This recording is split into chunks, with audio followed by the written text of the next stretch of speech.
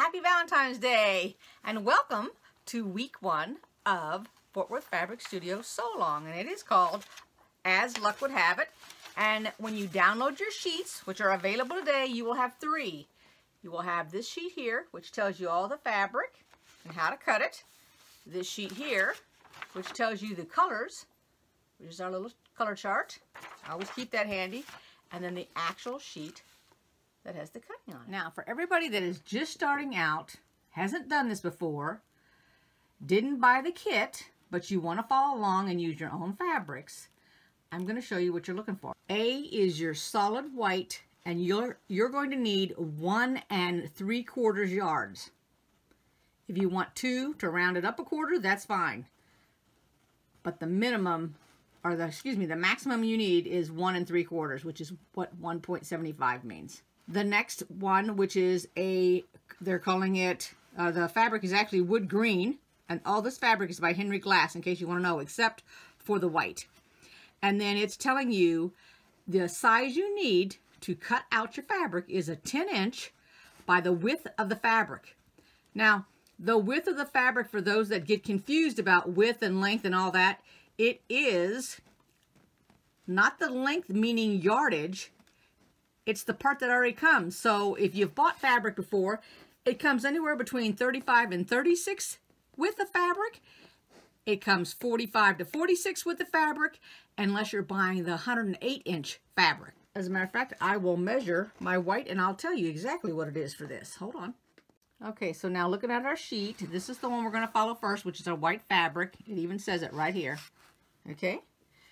The first thing we're going to do is we're going to cut two and three quarters by two and three quarter inch square in order to, and it's going to be three rows. So the first thing you're going to do is you're going to cut out a strip that's two and three quarters inch. And I'm going to cut out two strips to start out with. Actually three because it looks like I've got more than that. I'm going to cut out three strips. I'm going to cut out how many I need. All you got to do is count these. So just count one, two, three, four until you get to the end. Same here. It looks like this is going to be a little bit bigger piece, but you can go ahead and use it if you would like. You don't have to set that aside. And then when you get down to here, the next thing you're going to do is a 5 inch rectangle. So it'll be 2 and 3 quarters by 5 inch. This tells you exactly what you got to cut. So you're going to end up cutting 3 or 4 out of this fabric. I'm going to guess 4 because what I normally do is when I get to the end of my fabric, if I can cut out another square, I go ahead and I do it. All right, so this could give me two more squares, which would give me another one of these. And then when you get done with that, you're going to have two inches by six and a half. And you're going to do two, one, two, three, four, five, six, seven, eight strips that are two inches. Now what I do first I will cut these strips out, which is three of them, because I already know I need two and a three quarters. Actually, I'm going to cut out.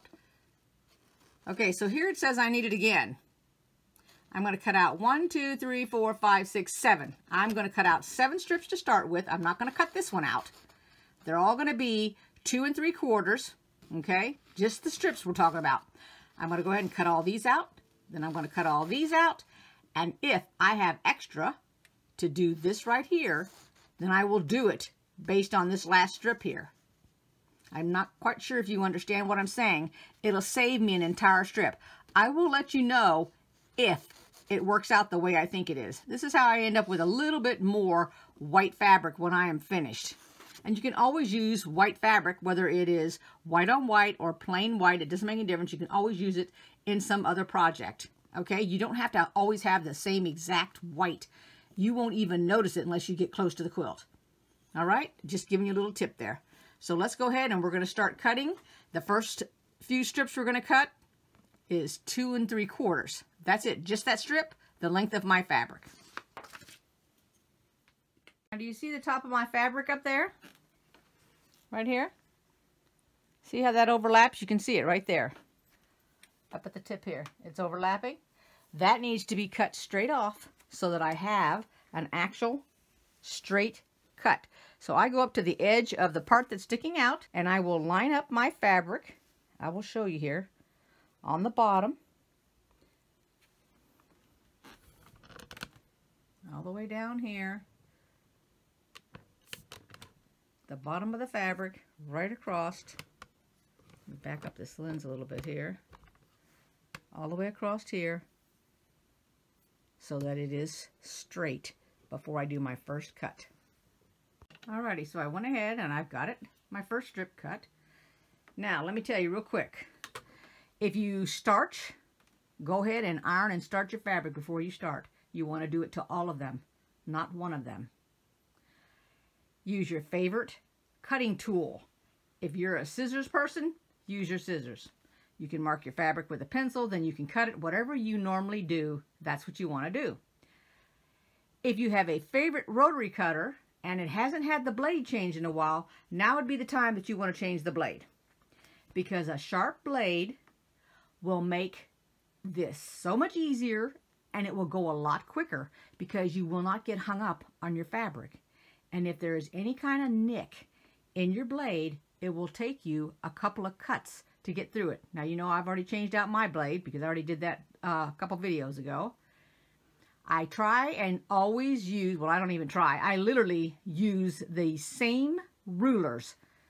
This is a creative grid. This is a creative grid because when they are made, they are made identical. If I was to use, and I will get it over here, because I do have rulers that I first started out with, but I've only got like one or two of them. So this is my OmniGrid ruler. Alrighty, now it is the exact same size. Wait a minute, is it? No, it's not. I was trying to see if I had the exact same size as this, but I don't think I do. And no, I do not. Okay, I was going to show you how they were different. And I'm not sure that I can do it, even with a sample. Let's see, this is a four yeah, I can't even show you. Let's see here. And they're off by a hair. All right, and I don't know if you can even see this, but let me give you an idea. All right, here's my creative grid. This is my four and a half. I put it up against this other, and can you see how it's off? I mean, I'm not quite sure you can maybe based on this line right here, it's off a, just a little bit. Well, if you add up that little bit throughout your quilt, it becomes a lot. I mean, you don't think about it because, you know, it's just a little bit right there. But as you keep going and, and moving along, it's changed the size totally. So that's why I always try to use the same kind. Now, these have the grips already on them. You don't have to add them to it. My other ones, I actually had to add some grips to the back. But let's go ahead and we're going to measure. And I always use, just from habit, I use the white circles. Alrighty. So that's why my ruler looks like it's upside down. Because here's your one, two, three, four. This one's going upward. But I come over two and three quarters. I take the three quarter and I lay it so I can actually see it on my fabric. Now that's going to make a difference Okay, so this is for all the new people who are just starting out, wondering about cutting, how to keep it straight. So if you were to cut it once when it's on the line, well, I mean, uh, where you can see it, and then, I'm going to push it over a little bit, cut it, your, like your next strip, so that it's off, and you don't see it now, because it's it, you can see it on the cutting board, but you can't see it on the fabric. That is actually a little bit of, which I'm not sure you can see it on this fabric. I don't know if I could get a zoom in on it. Let's see here if I can to show you the difference. Let's see. Nope, you cannot see it. I was trying to show you the gap between this ruler and that ruler. Well, those little amounts will add up. And this is what creates the blocks that are not exact. And then you always wonder yourself, it's a four inch block. Why can't I cut two exact four inch blocks? Well, this is the reason. Because if you're not consistent, it will be off one end or the other, one side or the other. So that's what you're looking for. But like I said, now, and just choose what you want to do. You can have it right on the fabric, off the fabric. It doesn't make a difference. It's going to be your choice. I go right on it so that I can actually see it because to me, I can line it up better. Then I butt up my other ruler. I always put a weight on this one just because of the length. And then I move this one and then I will cut this strip. So that's what I want you guys to do. And now that my razor is, I mean, my blade has been changed, this is so nice for the cutting part. And there we go, just like that. No oops, hang-ups or anything. Go ahead and let's cut all our strips out. Then I'm going to cut that first section and I'm going to show you what I have left over. And you'll understand it when I get that to that point, I'll explain it to you. It says to cut eight. I'm going to start by cutting seven and see if I need to cut that next one. I'm down to my last cut on the strip. And so I want to show you what I have left over and what I'm going to do. First off, I have my hand touching the mat as well as the ruler for stability. If you hold, in this case, my ruler is not too big, not too small. And if I hold my hand up here at the top part, pushing down on it, when I take my rotary cutter and go up, it will not move my fabric and shift it, which is what it normally does. So I line it across the bottom, and then I line it up the side, and I see the little black lines right here on the fabric. And then I hold it. Make sure your fingers are safe and not over the edge here and then cut it. Now, this is my last piece. I'm going to open it up. And this is what I was talking about, the extra fabric. You can iron it if you want. I'm going to lay my ruler back on it, measure once more. And I'm going to get one. Every other one that I've cut has been two pieces. Whoops, I just bumped that hole on there. And this is just the one. So this is what I have left over after my strip. I've cut it twice. This is why I came back to show you. So now I can put these two together. So one strip, as you can see, this was one strip. So I have two, four, six, seven. So seven times two, because remember, there, it cuts two, which is 14. So you will literally get 15 out of your strip. After you've done two, you have now 30. And you're going to need exactly 30, let's see, 1, 2, 3, 4, 5, 36. So I'll cut three more strips this size out of the next, I mean three more of this size out of the next strip. And that'll give me my first set. And then this is what's discarded. Okay, and I'll leave it like that because those are the exact same amounts. I just want to come back and show that to you real quick. I put my design board out. This is my week two design board. I marked my fabric and I have a clip on it. I looked at my paper right here and I saw where it said that I need to take 36 two and three quarter by two and three quarter or 2.75 by 2.75 squares and then 36 of the 2.75 times 5 inch rectangles they're all for week two. So that's what I've written week two. This week is strictly the cutting week which I adore and love to do only my cutting all at one time before I actually assemble anything and I think it's great that they have gone and made week one for the cutting. Alrighty, so I am back. Now I marked up my paper to know how many strips to make. I stopped here because I got it all out of the seven strips. I haven't done these yet. I'm going to need four of those. They are two inch strips. Here's a two inch strip. It says to cut 12 of them. So that's what I'm going to do. Now if you notice, all this gray area is pieces of extra fabric. All right, so there's enough fabric here to get these four cuts of two by three and a half inch. So I'm only going to cut 12 and I'm going to still end up with extra fabric. All right, that's what I'm going to do. Cut 12 strips two inches by the width of the fabric. Okay, so I've got it lined up here at the table, just like before. That's my straight edge, and then I will just cut two inch strips. That's it, 12 two inch strips. Here we go.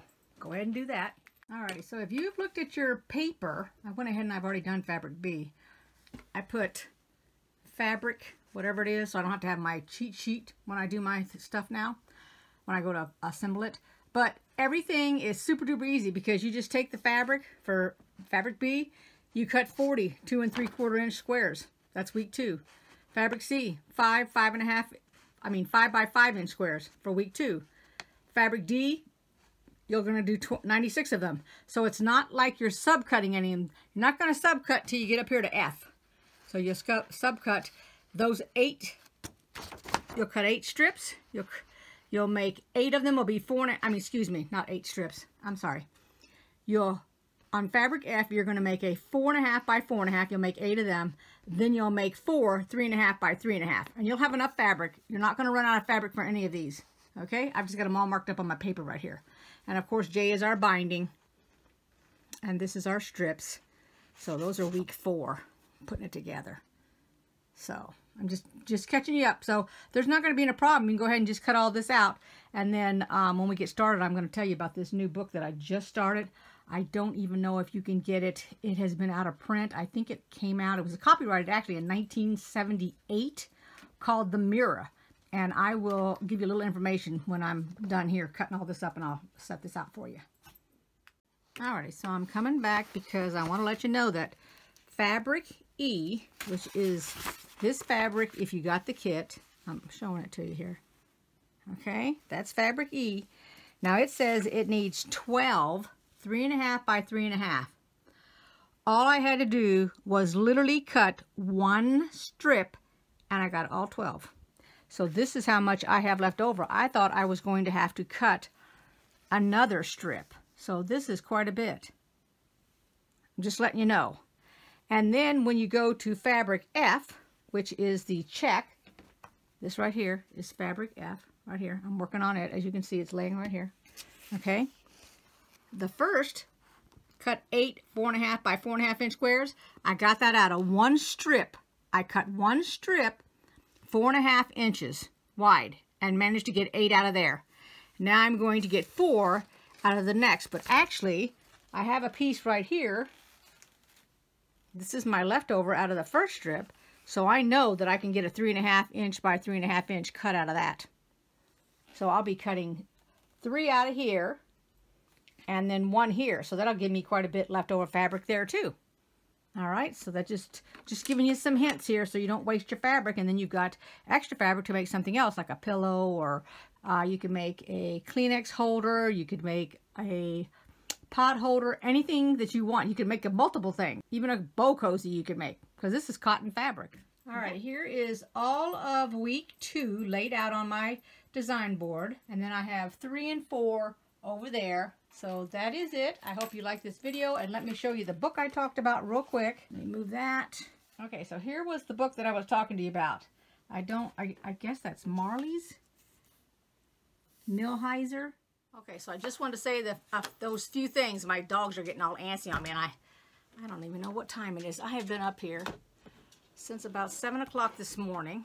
I got up here real early. Oh, it's 1148. Okay, so I guess they need to take a trip outdoors is what the thing is going on here. So, so I just want to say thank you everybody for watching. And I want to go ahead and I want to also just mention this real quick because my subscribers is over 4,000. Now, I will be doing a subscriber giveaway when my subscribers reaches 5,000. For all of those that are new and don't know what I do, I normally create a box and then I put a whole bunch of things in it.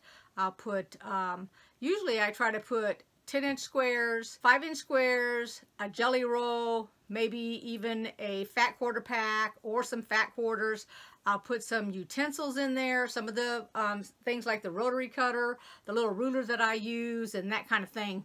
Uh, sometimes I even give a Starbucks, Panera, and I'm trying, um, trying to think what the third gift card is. Usually I'll give a gift card of some sort also in that box as a way to thank everybody that's um, joined my YouTube. So, and I have a drawing and everything just like we do for everything else, but I'm just letting you know ahead of time what's going on. But um, I hope you all like this video.